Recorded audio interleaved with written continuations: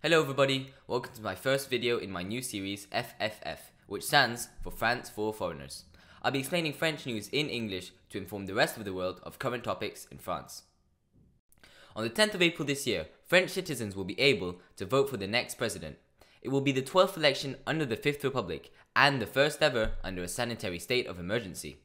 We'll look at the current frontrunners of the election and briefly describe their projects.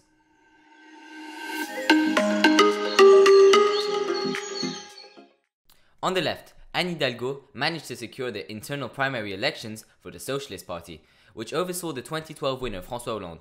The current mayor of Paris aims to solve social, climate, and democratic issues.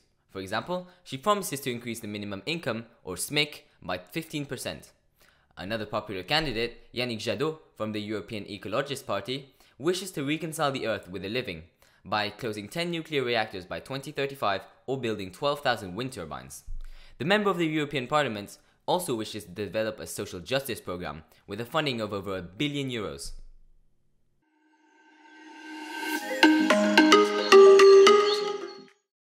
On the right, Valérie Pécresse fended off popular candidates such as Xavier Bertrand or Éric Ciotti, becoming the first ever woman to represent the Republican Party at the presidential elections. Her goals are to encourage work, find a solution to the ecological crisis, and stop uncontrolled immigration as well as facilitate integration. She aims to attain carbon neutrality by 2050 and bump up by 10% the net salaries of people earning less than twice the SMIC.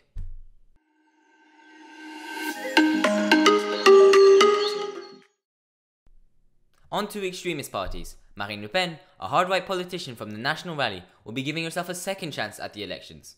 Her policies have remained quite similar to 2017, where she managed to reach the second round. She still wishes to regulate immigration by limiting familial regrouping, but also to consolidate the nuclear industry and to reorganize the health system by creating 100,000 additional nursing homes. Flamboyant new independent candidate Eric Zemmour has similar views, aiming to clamp down on immigration and Europe. The ex-journalist's opinions on Islam have created heated debates, as he wishes to forbid wearing hijabs and building imposing mosques.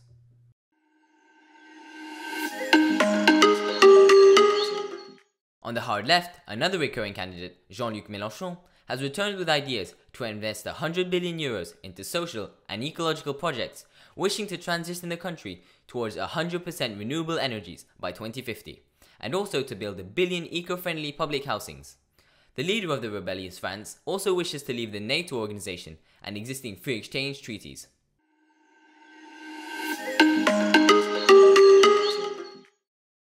Finally, in the center, the current president Emmanuel Macron has yet to officially announce his candidacy, although it is highly anticipated.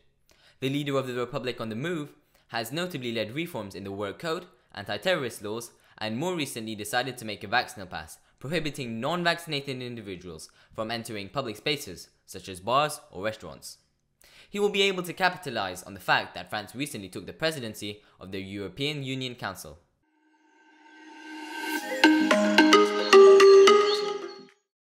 So, who is likely to make it through to the second round? Polls are suggesting Macron will easily get through, with a tight struggle between Le Pen and Pécresse for the second place. Could we see France's first ever female president? They must however be wary of Zemmour, who has been recently climbing up in the polls. Thank you so much for watching, leave a like down below if you enjoyed, and let me know who you will be rooting for come April.